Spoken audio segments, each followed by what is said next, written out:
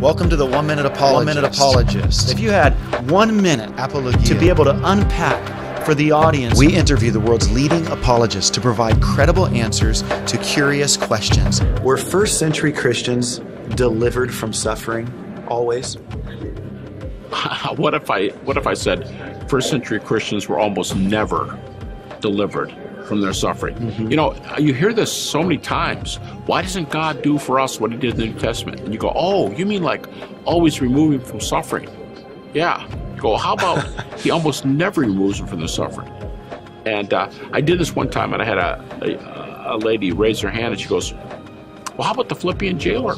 Uh, Paul and Silas were in prison and they pray, and the next thing you know, the prison pops open. They catch the jailer before he kills himself, and he and his whole family come to the Lord. Yeah, what and I about said, that? And I said, I, I'll go.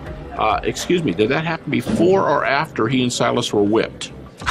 That's And, and between the first one and the second one, did Paul go, oh, no more, Lord, t- one's enough, oh, two's enough, 20, to 21, oh. Like every time, how many times do you think he wished he were taken from it? But over and over again in Scripture in the New Testament, almost always the person goes through the pain. In fact, take the life of Jesus. There's about eight instances where he, where humanly speaking, it'd be neat if he were removed.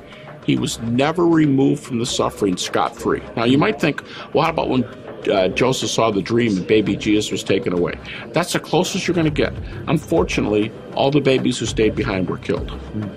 So there's no example of, of being taken totally away. And that's the only one where Jesus escaped. I mean, Jesus still had the temptation. Jesus still had the cross. Jesus still had being rejected by his family. He still had the temptation where God didn't go, oh, yeah, well, let's just whip Satan and get out of here in two days. He's there for 40 days going through it. So uh, it seems to me the New Testament message repeatedly is that Christians grow stronger, Christians go through things, God removes us at the appropriate moment, and we should be prepared for that and we should look for opportunities to grow.